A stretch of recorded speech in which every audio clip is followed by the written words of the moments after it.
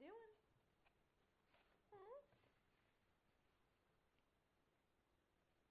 There, we can see you better now. Yeah, yeah, because you're cute little guy.